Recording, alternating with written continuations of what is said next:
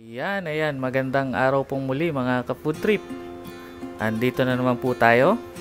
Ang ating pong menu for today, ang uh, mixed seafoods with cajun powder.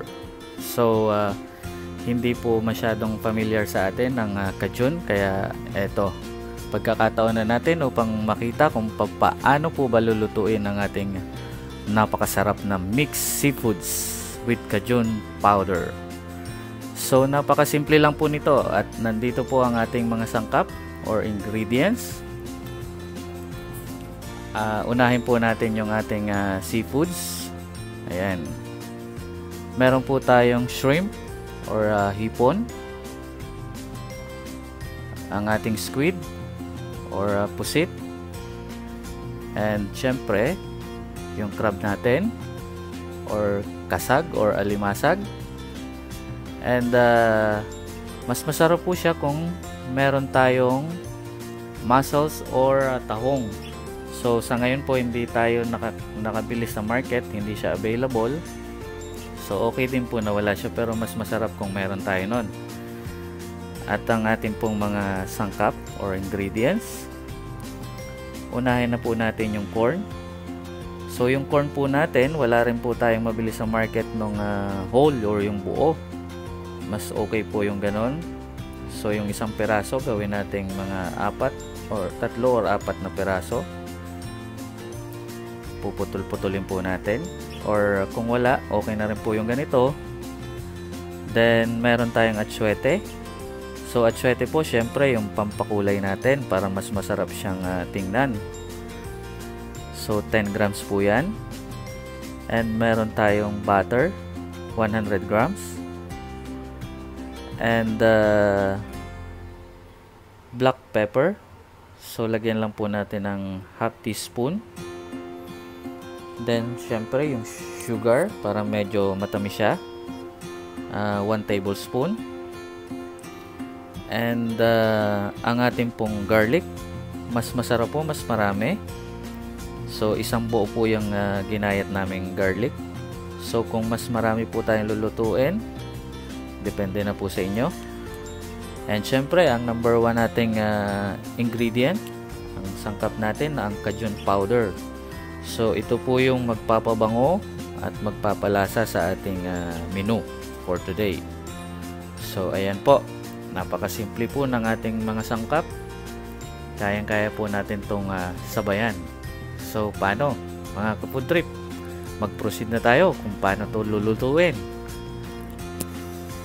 Okay, mga kapod trip. So, start na tayo kung paano yung procedure natin sa pagluluto ng mixed seafoods with cajun powder. Okay? Unahin natin ng butter. So, uh, dyan natin lulutuin yung garlic natin or yung bawang. So mas uh, okay po pagka mas madami tayong butter dahil yan yung uh, magsisilbing sarsa ng ating uh, lulutuin. Kaya kung uh, meron kayong uh, maraming butter, mas okay. Ilagay po natin. At syempre, depende rin sa dami ng ating lulutuin. Ayan, hintayin lang natin siyang matunaw. Siya rin po yung magsisilbing pinakang oil natin habang uh, niluluto natin ang ating bawang. Ayan. Pagka natunaw na siya, isunod na natin yung bawang. Yan. So, uh, isang importante rin po sa ating menong uh, lulutuin, mas maraming bawang, mas masarap. Ayan. So, butter. Sunod po natin yung bawang. Ayan. Hintayin po natin siyang medyo maging brownish yung ating garlic. Halu-haluin natin ng konti para mas pantay yung kulay niya. Tsaka para mas masarap syempre.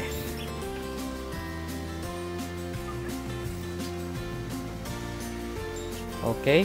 At uh, mag-add po tayo ng konting oil cooking oil. Yan. Para hindi po nasusunog yung ating bawang.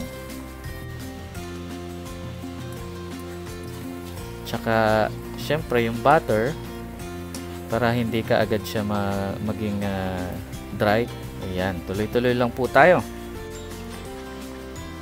Ayan, pagka medyo brownish na yung ating garlic, pwede natin lagyan ng black pepper o paminta. Ayan. Mga half teaspoon lang po siya.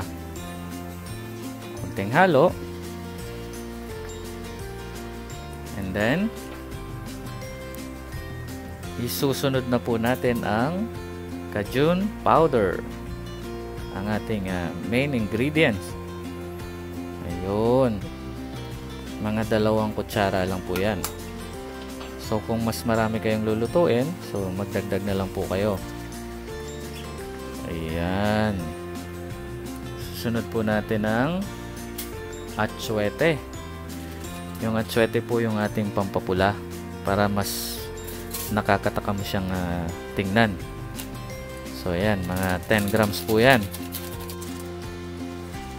Haluin lang po natin para matunaw siya sa butter. At hindi siya magbuo-buo. Ayun, kita nyo na. Ang sarap na niyang tingnan.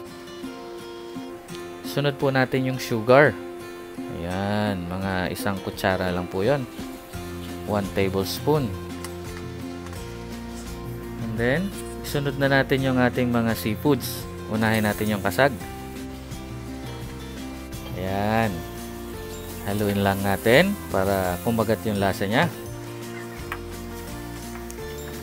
So, yung ulitin ko po, yung kasag ay uh, pinakuluan namin ng saglit para mas balanse yung pagkaluto niya kasabay nung uh, hipon tsaka pusit dahil mabilis pong maluto ang hipon tsaka pusit.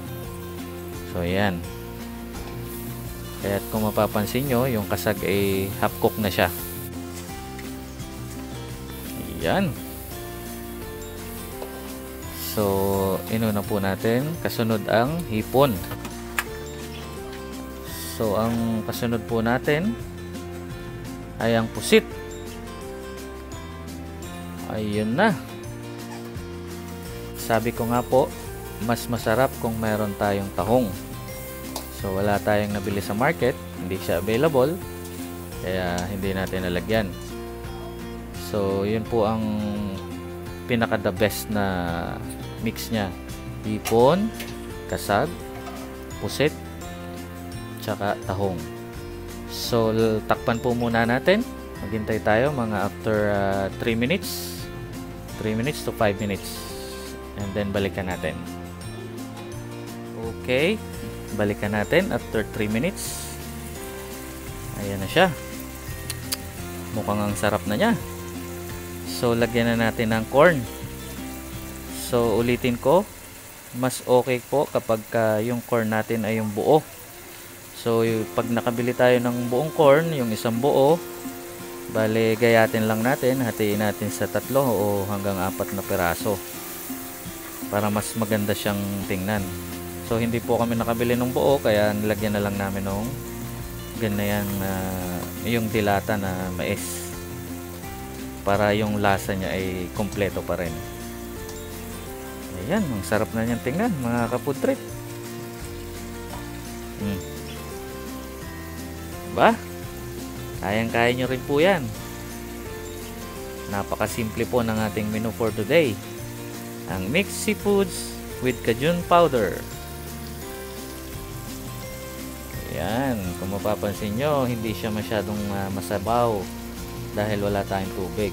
So, ang nagsisilbing uh, sarsa lang po niya ay yung ating uh, butter.